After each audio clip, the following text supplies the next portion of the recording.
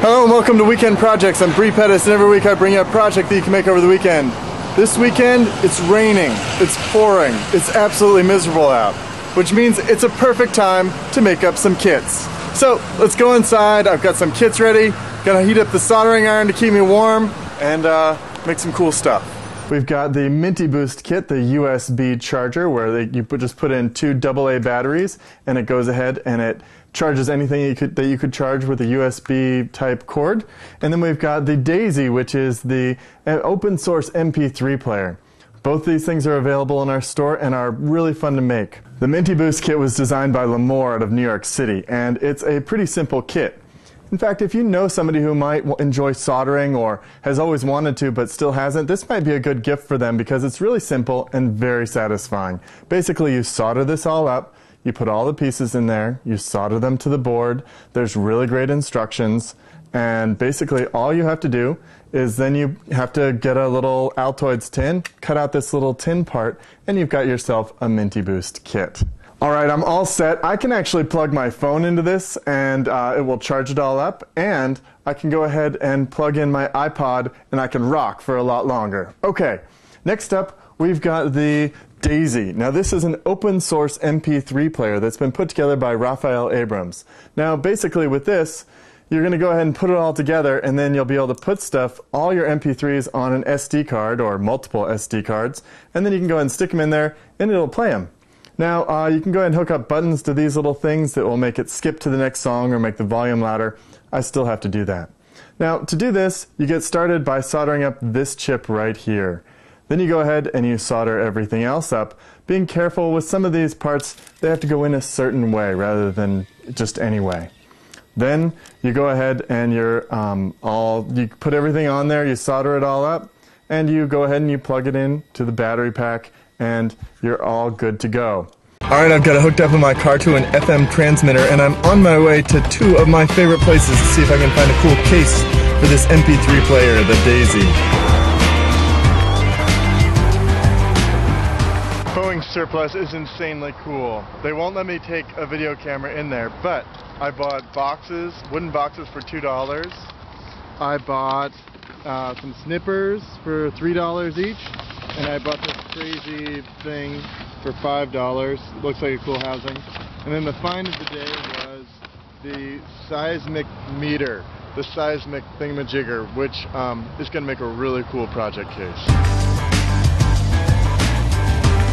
Goodwill is awesome. You can find pretty much anything here as long as you're not actually looking for it that day.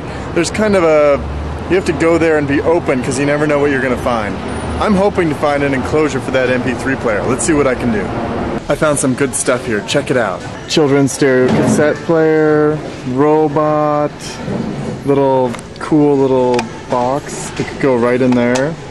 And then I've got a little laser tag system. It could go right in there.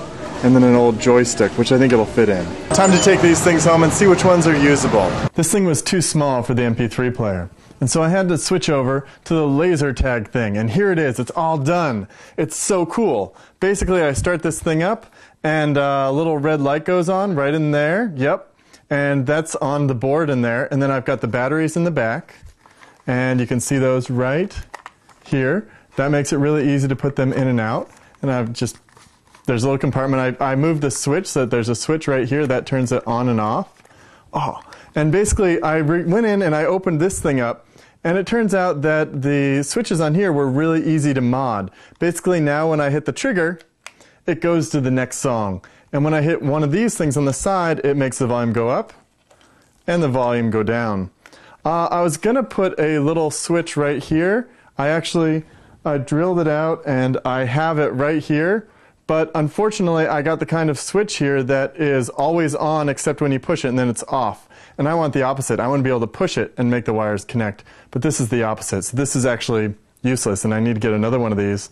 And then I'll just go ahead and I'll put that right there and it'll look much cooler than this little button right here, which is just something I had around. Tim Anderson came up with this awesome mod for doing DIY headphones. These are ear protection. This is the stuff that like aircraft people use when they're landing airplanes to protect their ears. I actually can't hear anything. This works way better than noise canceling headphones. Then you just take those cheapy things, the uh, the uh, headphones that you get on the airplane, you just stuff those right in there. There's room for them. and you are good to go. You can hear clear as a bell, and you can't hear anything else. One last thing. Your SD card has to be formatted FAT32 in order to work in the DAISY. So I can only do that on a PC. If you've got some secret way of doing it on a Mac, that's great. But I just stuck it in a card reader, hooked it up to my PC, and then I went ahead and I formatted it FAT32 and it worked great. Then I just went ahead and I stuck it in there and I'm listening to tunes. Okay, now I've got an idea for that Minty Boost. I'm going a little case mod crazy. It's a dinosaur charger.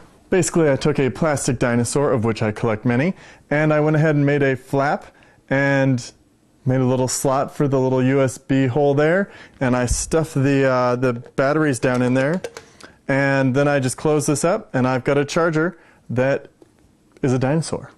Okay, I can see how people get obsessed with case mods, and I'm going to see what you mod. Take the weekend, go ahead and make something, take something else and put it into a new case, or go ahead and get one of our kits and kit it on up, and then go ahead and put it up in a cool case and upload it to the Make Flickr pool. I really want to see these. Okay, I'm Bre Pettis for Make Magazine. Go forth, do some case mods, and have a great weekend.